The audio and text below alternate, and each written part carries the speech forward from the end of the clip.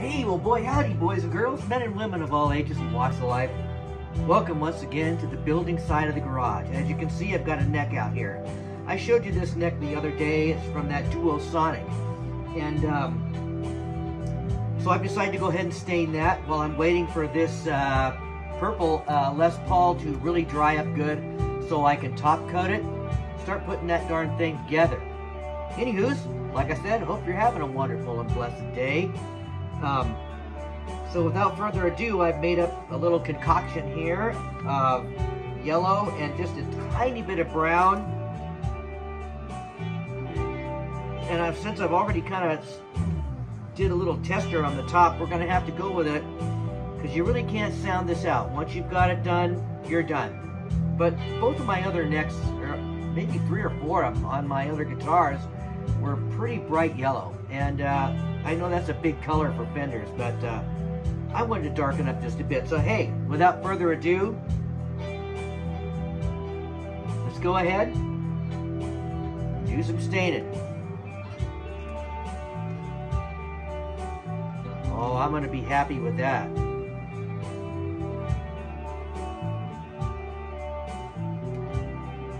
Yep. Just dark enough um,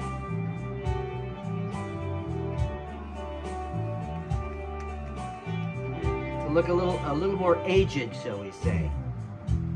You know, us old guys got to have aged stuff hanging all over us.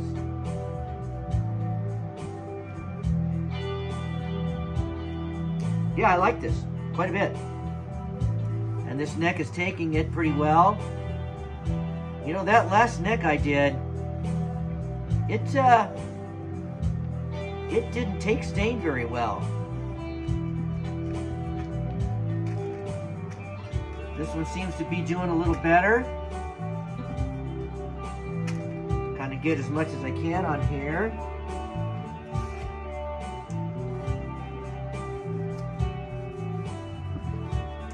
I'm going to be honest with you. I was going to try the roasted maple look on this neck. I had all the wire wrapped around it. You've probably seen it in videos if you watch any guitar making videos. And uh, you wrap like mechanics wire all the way around it. Then you take a torch to it and heat it up. But I could not get this headstock uh, looking to where I wanted it to, uh, for it to look realistic. So I gave up on that not gave up, I intelligently decided not to do that. You heard that. Intelligently.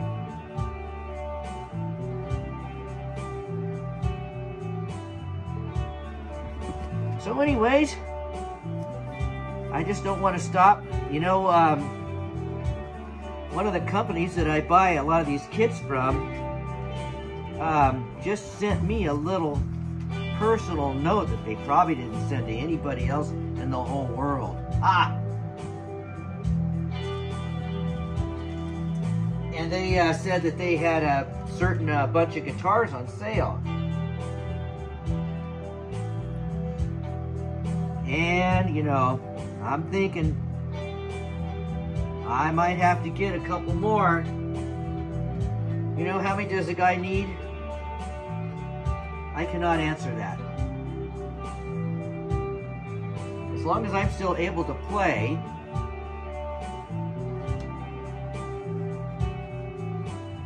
I like that a lot.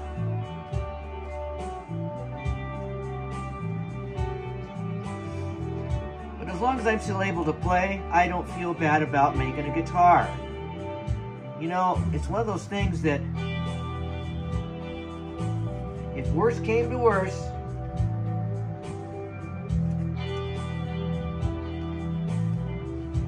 things were going crazy, and you had no way to make an income, maybe you could just go out on the street and, what do they English call it? I think they call it brusking. Just go out there and sit there, not with, you know,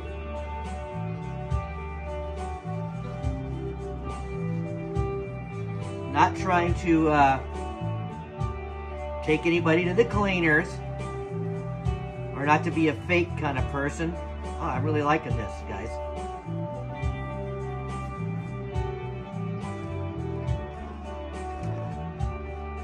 Yeah, I'm liking this darker one.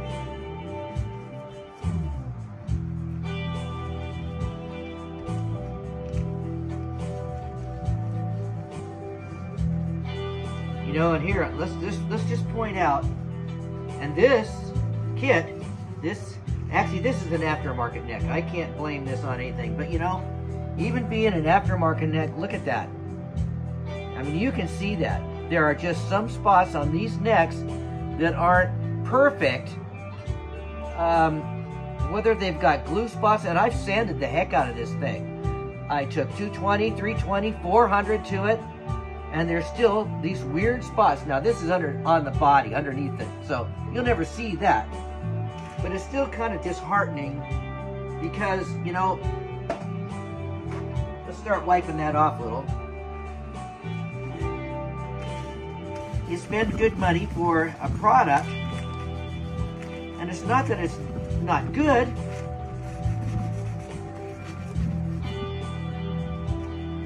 It's just that it's got these spots where it really won't take stain.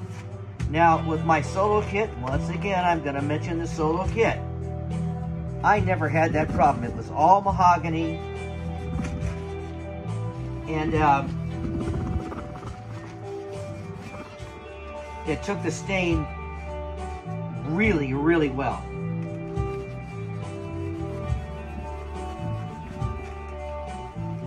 Anywho's, that's kind of what's going on today, guys. Uh, and I think I'm to like this, uh, just because of the fact that it's just not exactly like all the other ones I've done. I don't want to be Mr. Same Guy all the time.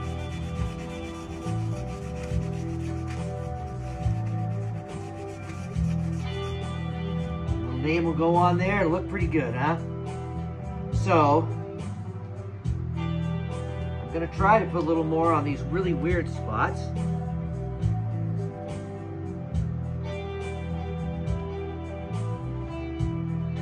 I'm not trying to vintage this thing out or anything, so I'm not doing anything like that. But you know, I just don't understand that, you guys. Somebody out there do some research for me and tell me why there's these big spots on some of these darn aftermarket necks. I mean, I could get out the neck that came with the kit that's all maple, maple fretboard and everything, and stain it and see what happened. But I wanted 22 frets and I wanted the block inlays and the rosewood uh, fingerboard. But that's just, that's not pretty. so I don't know what I'll do about that. Nobody's going to really see it but me. But, you know, I'm trying to put a little more on there, and, and it is really not doing a lot. Anywho's, that's what we're doing today, guys. So, um, I don't want this video to be too long. Uh, I won't post it probably for a few days, so I don't want to just make them one right after the other and have big gaps. So I'm going to have to wait till it warms up just a tad to start spraying that thing. We'll see what happens there. I've been hoping for a good outcome on that uh, I will, once again, uh, you know, I'll probably lacquer this one too. Clear lacquer. Because I like clear lacquer. It looks good. Anyways, um, that's kind of what we're doing today. Once again, I hope you have a blessed and wonderful week. Please pray for your country. Pray for your friends. Pray for the world. We're in upheaval right now. I mean, everything's just going nuts. Every prices on everything, you, every consumer item you can think of is going up. And a lot of us out here can't afford it.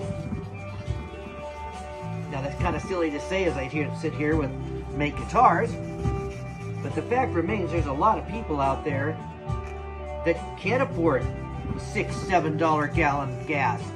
You know, since I'm an, I was a truck driver for a while, even though I work for a company and the, I didn't have to pay for the fuel, these companies just must be going nuts.